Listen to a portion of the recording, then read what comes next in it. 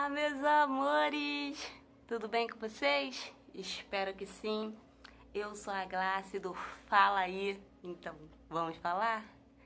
Hoje eu vou falar justamente para vocês que tem um jeito meio louco, diferente, mas que ama realmente a Deus, ama a bondade, ama a misericórdia, ama as coisas que vêm do alto, mas não se encaixa, sabe? Se sente excluído de tudo, de todas.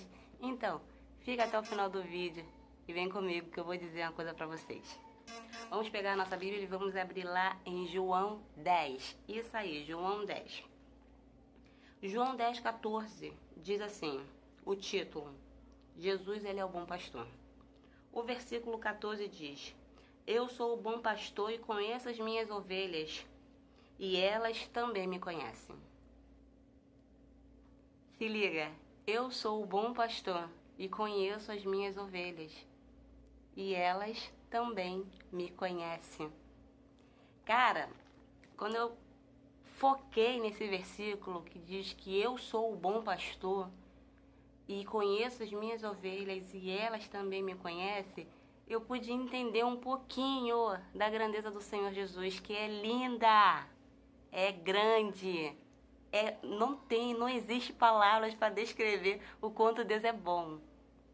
Você que se sente perdido, por quê? Tem dread, tem tatuagem, tem piercing, vai pra baile, gosta de usar short, bermuda, camiseta, um biquinho de fora. Sei lá, você que tem a sua vida e gosta de viver a sua vida. Amém. Mas quero te dizer que Jesus, ele te conhece, ele te viu, ele te conhece quando você vai pro baile, ele te conhece com essas tatuagens, ele te conhece com esse piercing, ele te conhece com esse dread, ele te conhece de saia, ele te conhece de short, ele te conhece de bermuda. Ele te conhece, ele é o bom pastor, e ele conhece as ovelhas dele, e ele não te joga fora. Ele não te discrimina. Não, não, não, não, não. Não se sinta discriminada por Deus porque você não é. Você é amada e escolhida pelo Senhor. Porque a Bíblia diz que ele deu a vida dele pelas ovelhas. Então, amada, ele deu a vida por você. Tá bom? Então, por que, por que eu estou dizendo isso? Vamos lá no ponto porque eu me sentia muito excluída, porque eu tenho um jeito, tenho uma vibe meia louca, e toda vez que eu chegava para falar com alguém assim, ai Jesus, eu amo Deus, eu amo Jesus, mas eu, eu amo dread, sabe, eu tinha um piercing aqui, eu tirei, porque saiu tomando banho, eu fiquei com preguiça de botar porque tava recente do eu, só por isso. Então quando eu falava, não, ai eu amo dread, eu amo, eu gostei do piercing, sabe, e eu amo turbante, gente, eu amo turbante, e aí outras pessoas ficavam me olhando assim. Mas tipo assim, o que, que ela tá falando? Não bate, sabe? Não, não, não, não tem ligação do que ela tá gostando para as coisas que, que, que, que agrada a Deus. E aí eu comecei a me sentir muito frustrada, me sentir muito excluída, porque eu amo Assembleia, gente. Eu sou Assembleia na Roxa, eu amo Assembleia. Mas eu amo camiseta amo argola. Tem dia que eu quero andar toda maquiada, tem dia que eu não quero andar sem maquiagem nenhuma. Sabe, eu já botei trança, sabe? Black beard grandona, ó, é vermelha, e verde, marrom, e preta, sabe? A minha irmã, ela é transista, então vira e mexe, a gente dá uma louca, bora fazer uma trança diferente e vamos fazer a trança diferente. Sabe, eu me sentia meio que excluída, porque eu ficava assim, Jesus, onde que eu estou? É isso aqui que o Senhor quer pra mim? E quando eu falava para outras pessoas desse meu sentimento de gostar de coisas diferentes, mas amar loucamente o Senhor, eles ficavam assim, não tem como, não bate. E aí por muito tempo eu me frustrei. Aí eu fiquei começando a querer ser outra pessoa que não era eu, sabe? Eu queria pedir a Deus oração para meu cabelo crescer, para eu poder fazer coque. Andar com saião. Eu amo saião, gente. Eu amo saião colorido, amo, tá? Amo. Glória a Deus, amo. Mas eu queria ficar só nessa vibe para poder agradar o outro, sabe? Não queria agradar a Deus. Porque eu achava que agradando o pastor A, B, C ou D tava bom demais. Mas não é assim. A palavra do Senhor diz que Ele conhece as ovelhas dele. E eu, como ovelha, conheço Ele. E eu conheço Ele, conheço a palavra dele, conheço. E não é o cabelo. sabe? Não é o piercing, não é a tatuagem, sabe? Não é a sua aparência. Não é, não é isso. É o seu coração, é a sua intimidade. Vem do jeito que você está, que você está indo para o lugar certo. A igreja não é lugar de santo. A igreja é lugar de pessoas erradas, pecadora, que buscam a santidade, que tentam viver uma virtude, tentam viver uma virtude, porque é difícil você viver em santidade com Deus se você não tiver firmado na palavra. Então, vem do jeito que você está, vem de dread, vem de piercing, vem de saia, e vem dormir do baile, e vem, não liga, não liga para a opinião do homem. Não liga, não se frustra com a opinião do homem. Foca na palavra do Senhor Jesus. Foca em Cristo. Foca na palavra que diz que Ele é o bom pastor e Ele conhece as ovelhas deles. Então, Ele te conhecem assim. E Deus que vai te moldar. Deus ele vai tirar aquilo que pode te prejudicar. Porque aquilo, as coisas que Deus tira de nós são as coisas que podem nos prejudicar aquelas coisas que podem nos afetar, aquelas coisas que a gente pode se machucar e a gente não sabe, porque nós não sabemos do nosso futuro.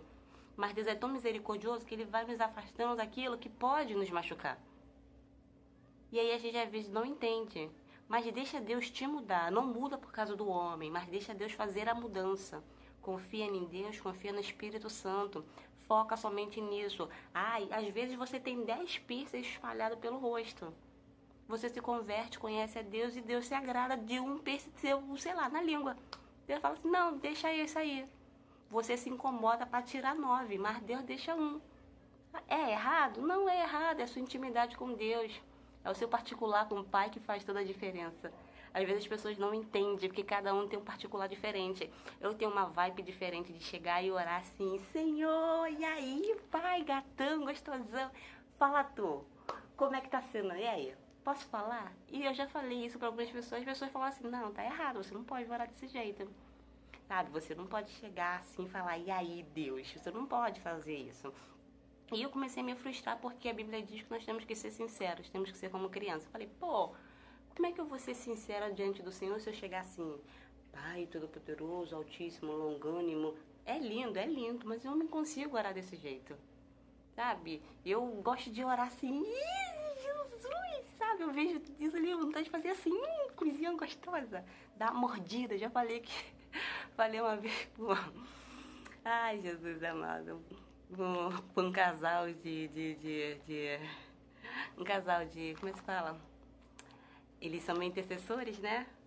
E aí eu cheguei e falei exatamente isso pra eles. Falei, ai, eu tenho vontade de chegar assim e morder Deus, sabe? Um dia que Deus aparecer pra mim face a face, que eu sei que não vai rolar, mas se ele me desse essa graça, abraçar ele, ah, dar uma mordida, falar, ai, coisa gostosa.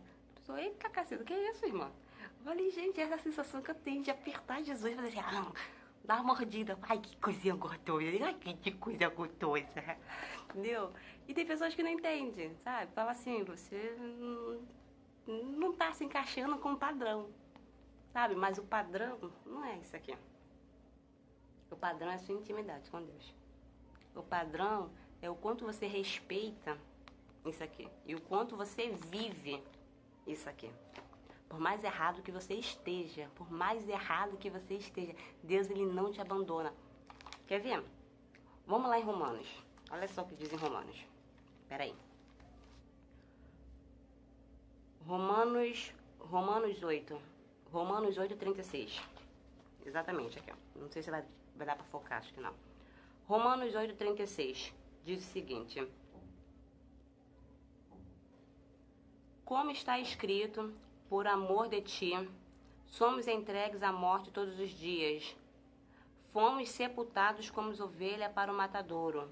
Mas em todas estas coisas somos mais do que vencedores, porque aquele que nos amou. Começo 38.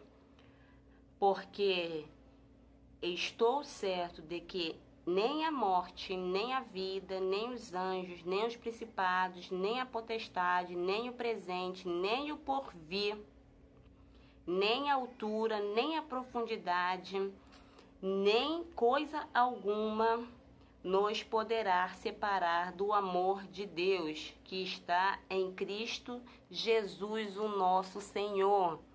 Deus disse que nada vai nos separar do amor dele. Então não vai ser seu piercing, sua tatuagem, sua mini saia, sua camiseta.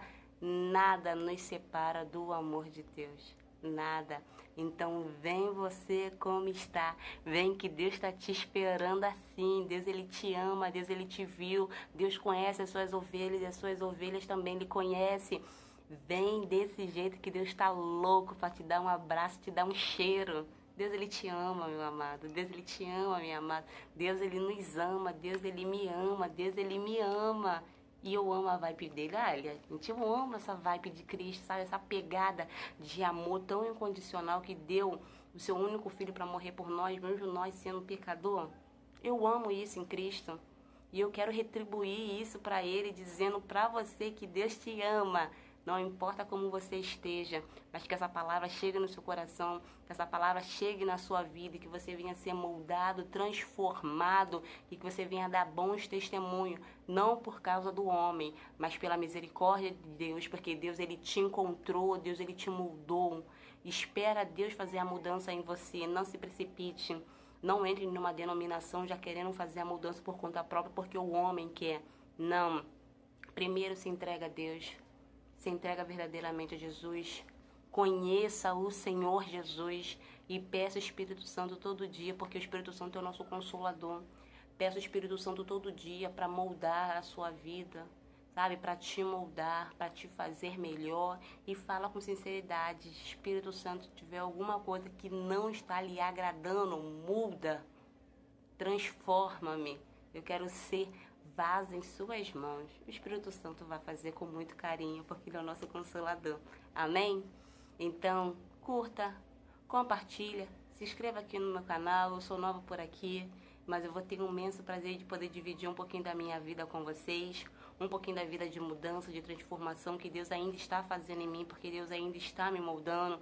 E eu gostaria muito de compartilhar com vocês um pouquinho disso, tá bom? Então, até a próxima.